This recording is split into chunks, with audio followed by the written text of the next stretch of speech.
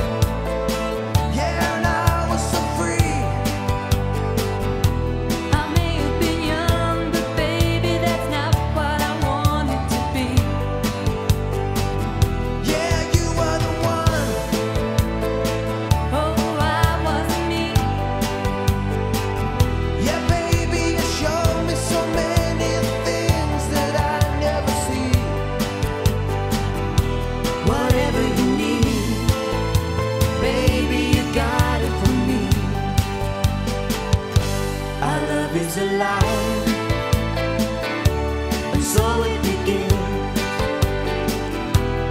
Foolishly.